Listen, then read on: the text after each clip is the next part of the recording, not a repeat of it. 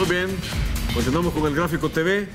Alianza le ganó al vencedor, eh, así se completó la fecha 9, fecha que Alianza la habría cerrado entonces. A la par de Independiente, solo por un golito no... Independiente termina la 9 como líder. Muy bien. Bueno, entonces aquí está, triunfo de Alianza. 2 por 1, el partido se disputó en el Estadio de las Delicias. El Sergio Torres está siendo objeto, se presume, de algunos trabajos de Van a dejar otro volcán de ritmo. Eh, miren, esta es Penal. una jugada penal, un penal clarísimo, una mano.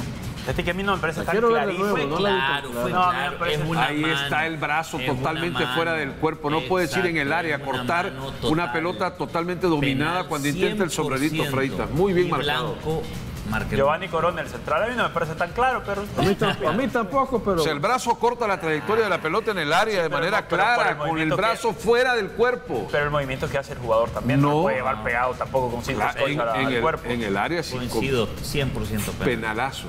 Mira qué bonito gol, mira cómo queda de mal Mario Jacobo.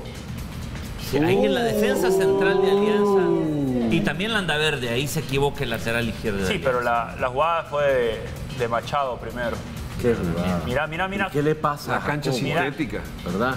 Se Mira. le enredaron Sí, las se piernas. Se, se frena Pero botín. mira la marca. Bueno, Mancía y y Landaverde pierden a Michel Mercado.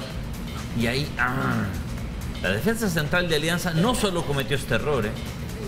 1 a 1, minuto 75, ¿no? Sí, no le funcionó a Alianza la alineación de dos delanteros. Jugaron tanto Blanco como Freitas de entrada y no necesariamente le fue bien. Se estorbaron. Exacto. Y llega el cacho Alarín, ¿eh? Yo creo que el Cacho, sí, pero el Cacho quiso Sí, tirar más centro, que no me diga a mí que la quiso meter Es que ahí llegas, porque quiso tirar sobre la línea final ya con la última opción de meter el, el, el- Muy el difícil el ángulo, y me pero el ángulo es difícil. Buen gol, ¿eh? Me alegra mucho. Por cierto, me cuentan que Oscar Serén salió lesionado, se sumaría al hospitalito que tiene Wilson Tuvo Gutiérrez. muy pobre partido hoy Serén, ¿eh? Habrá que, habrá que esperar qué dice el cuerpo médico.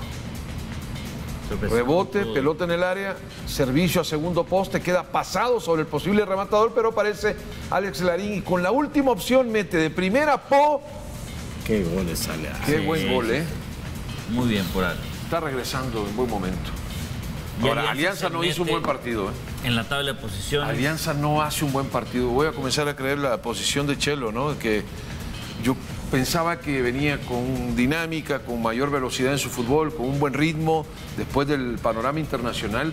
Pero yo vi 50 minutos hoy, Alianza no gustó para nada. A, a mí me gustaría. La gente dice, ¿y por qué no juega con dos delanteros?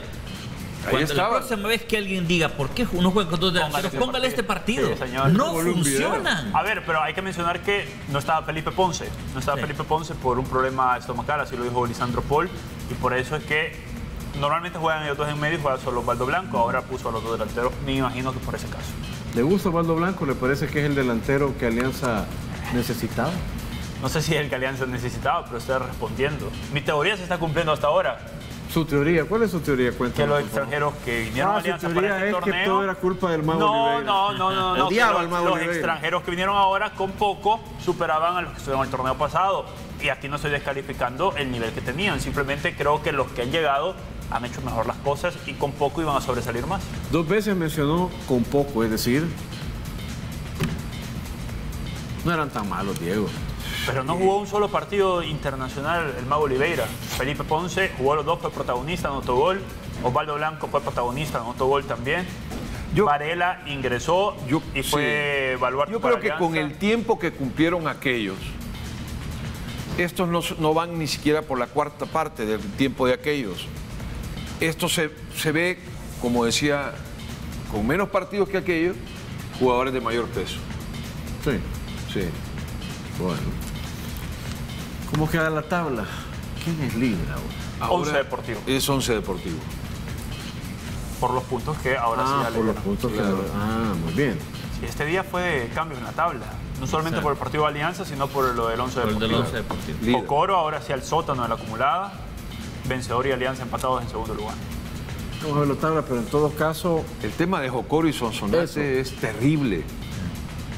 Es terrible. Van a tener un arranque de segunda vuelta. A Jocoro se le viene, creo que Alianza el domingo y cierra el- la primera vuelta. Y Carlos Romero asumió la, ahora, la manija. sí, Y, y lo de Sonsonate, tres partidos fuera, perdiendo este ¿no estabas duelo. criticando hoy en tus redes sociales al nuevo técnico de Jocoro. entonces. Gracias por seguir. No, alguien, alguien quejándose de Ah, usted sí, nos sí. mandó el, el tweet. En ¿Cómo realidad. cambia rápido de versión? Ah. Entonces, este. me mandan el tweet con un. Mira, ya, ya.